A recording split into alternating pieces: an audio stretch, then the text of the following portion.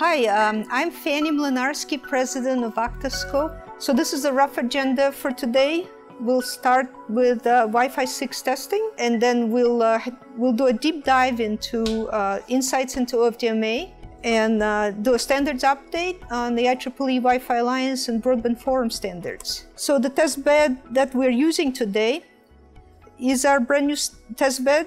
It has uh, 32 STApals. Stay pals are instruments that uh, we use. Uh, and you can see kind of a busy diagram. There are 16 of them on the right and 16 on the left, and they all connect into four pairs of antennas. And these four pairs of antennas are spatially diverse. They're in the corners of the chamber. What that means is we can form a complex beam from the access point.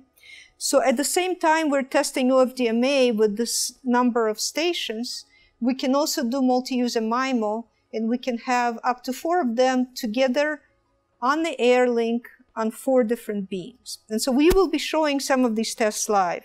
Our speakers today are our, our CTO Leigh Chinitz and Steve Shear, Chief Scientist. They will tag team on, on the first part of the, uh, the seminar with all the testing, live testing, and deep dive into OFDMA. Uh, then we have Prachi Sambakuar. Uh, she's our uh, local San Jose based uh, systems engineer and she also happens to be a resident expert on the Wi-Fi Alliance testbed, which she'll tell you about. Uh, some of our guest speakers are Craig Smith, who's principal of Dot 11 Labs. All of our speakers have at least 20 years of experience in this industry and going back to the pioneering days and have been involved very actively with the latest OFDMA technology. So Craig is going to show us some testing he's done in an open house and present some interesting test results, which actually correspond in some ways to what we'll do in the testbed today. And last but not least, Lincoln Lavoie, uh, who's a senior engineer at UNH IOL, and he is uh,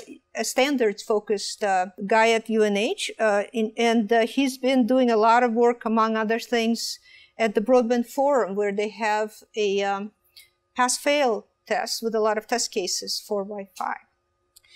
All right, so with that, I'm going to pass it to Lee. This seminar is actually now kind of part of a series of things. Um, we actually did a first seminar on Wi-Fi 6, um, kind of an introduction to Wi-Fi 6 last year sometime, and we talked at that time a lot about like what Wi-Fi 6 is um, and what kinds of testing we thought would be necessary in order to uh, really understand what was happening. A couple months ago, uh, Tim Higgins from SmallNet Builder put out an article uh, there's a link here on this slide, uh, and the, the name of the article is What's Missing from Your Wi Fi 6 Router, OFDMA. So um, you can kind of get the whole gist of the article from the title. Tim looked at uh, a number of devices. He's got a table in the uh, paper itself. This is the table where he tried to identify what he thought the capabilities were as far as he knew, either from talking to the vendors or researching the products, you know, what was capable in terms of uplink and downlink OFDMA. And he took data, and Tim does a lot of sort of detailed work with the vendors themselves, talking about what are the right test cases in order to see effects of OFDMA. He was focusing on different packet sizes. He was looking at different uh, signal levels um, and various other things. But what you can roughly see in this picture is that there were some places where he saw some gains when he would turn OFDMA on and to OFDMA off.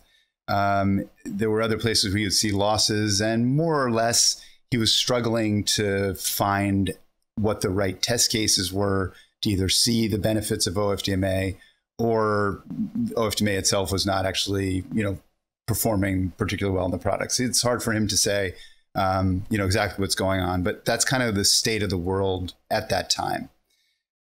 so for this seminar, we're I'd say happy to report that you know part of the reason we want to do this now is that even in the short space of time since SmallNet Builder put out that article, we're starting to see what we're calling signs of life in terms of OFDMA. We have spent a lot of time, uh, obviously, as a company whose focus is test, on figuring out what the right test cases are and what the right test scenarios are in order to actually uh, sort of quantify benefits of OFDMA. And that has taken us down a path of needing uh, new test beds. So Fanny just introduced you to you know one there. Uh, it's been becoming more and more clear that we really do need to have uh, you know a fair number of simultaneous devices on the link in order to be able to do these tests. Um, and that pushed us in the direction of the STApals that Fanny just mentioned. We'll talk about it a lot, but you'll hear a lot about it a lot today. Um, and we also needed to really wrap our heads around the fact that the metrics for evaluating OFDMA performance are different. Um, really, kind of up until now, there's been a big focus on throughput, right? Um, and we'll talk about this more as well.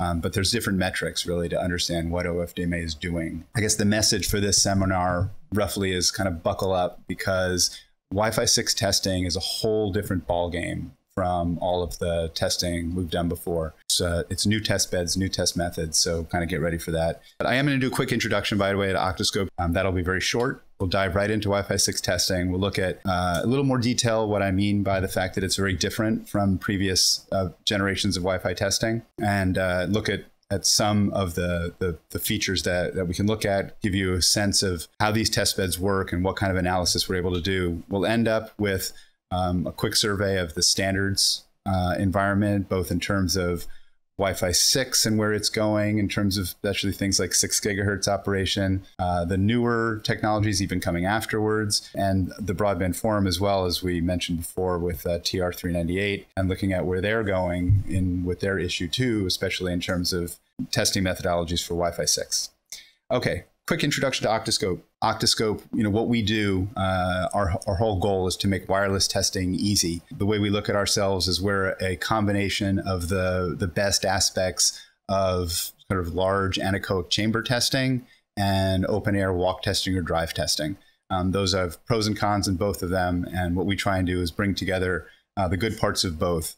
Uh, those being, you know, highly uh, isolated and shielded environments, but with the ability to do real world uh, emulation in terms of multipath, interference, range, that kind of things, things that are difficult to do in an anechoic chamber. And so again, from the benefit point of view, you know, the reason that, or the benefits that, that our customers get from using uh, an, octa, an octoscope test bed or an octoBox, as we refer to it, um, is that it's, it's easy to uh, do tests that might take you days or weeks if you were actually doing a walk test and trying to walk around and gather a bunch of data and push that down to hours.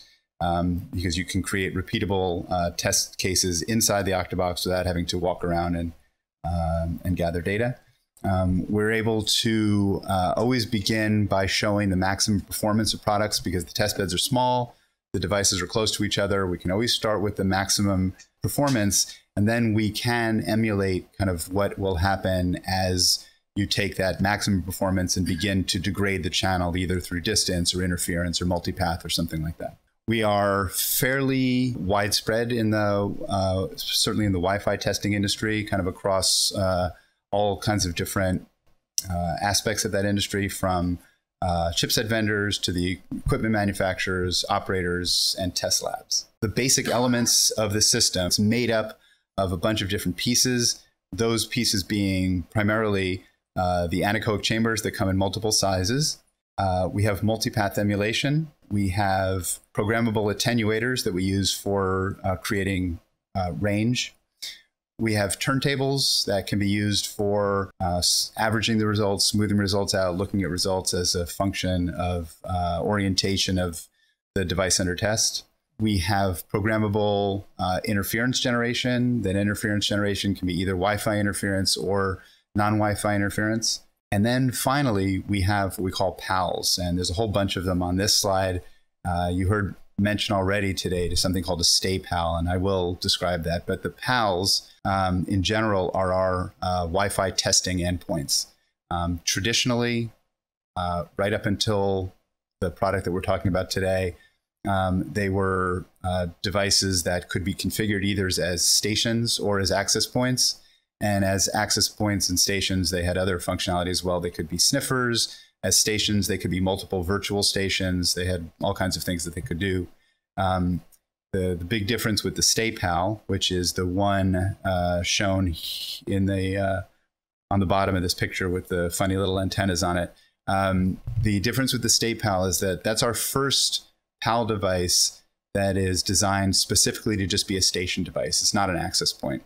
Uh, it can be a sniffer, but it's only a station device. And those are the ones that we're using. We're building into what we call this PAL box for this highly dense kind of OFDMA testing. The other thing to know about our test beds is that in addition to the hardware that I just you know quickly uh, flew flew past, um, there is a you know a heavy layer of software that sits over the whole thing. The entire uh, test bed runs under um, browser-based software control. You'll see that today as we run the demos. You'll see quite a lot of that today. Um, but in addition, all the devices uh, expose a REST-based API, so the testbed can be fully automated. And traditionally, you know, our customers who use the test beds a lot tend to run more under automation than, than under the, the browser-based software control. We've also created our Python library that uses those REST APIs. So um, it's possible to build uh, scripts to run uh, all of the all of the test cases. Quick summary of what you're looking at. This is the test bed that we will be using today for the demos that you're seeing. What we have is uh, three chambers. Um, one of our big guys, I mentioned before, we, they come in three sizes. The one that's called Box TT, that's our largest size uh, anechoic chamber. And in there, we have our access point. Today, the access point that we're using for the testing is actually our PAL 6. It's our, our Wi Fi 6 version of the PAL, um, but it could be anything. Uh, and on the bottom, you see those two things that are called PAL boxes. Uh, again, so those are the devices that are made up of STApals. Uh, and as Fanny mentioned, there's 16 in each one of those PAL boxes for a total of 32 stations that are accessible by that, uh, that device under test. Those of you who are here can look at it. Those of you who are not, just in case you're interested in what that looks like, the top box with the, the PAL 6 as an access point looks like this. Um, those are the uh, those these um, little angular things in the corners, those are what Fanny mentioned uh, that we have all of the devices coming in. Uh, she actually said they uh, they're coming into four pairs of antennas. Um, that's actually true for one PAL box. The other PAL box is also coming into four pairs of antennas. There's actually eight pairs of uh, antennas in these corners. Um, and that thing in the middle is our PAL 6. It's being used in a slightly unusual mode because it's actually operating over the air. Uh, often our PALs are conducted um, but in this case, uh, that one is over the air. So you can see the antennas uh, on there. And um, again, for those of you in the room, we have some more show and tell. Uh, right in front of Craig is another PAL 6 um, up on this front table with, uh, with other antennas attached to it. And then in the bottom, uh, this is what the PAL box looks like. so the PAL box itself uses our smallest chamber, and it has, again, 16 STApals in it in this case, that chamber is not used used then for any over the air testing. This is actually just a um, uh, a self-contained test unit of 16 conducted stations. Now, there's no room in there for over the air testing. There's not even any antennas. So those those 16 stations are in there and they're being conducted out uh, for use elsewhere. So think of it, if you like to, as a big PAL, um, but it's actually 16 individual radios.